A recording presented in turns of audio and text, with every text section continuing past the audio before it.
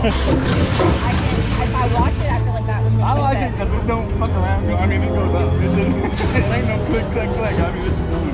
I, if I would have seen that with my eyes open, I would have puked something. I have to ride it first and not know what I'm to get my body.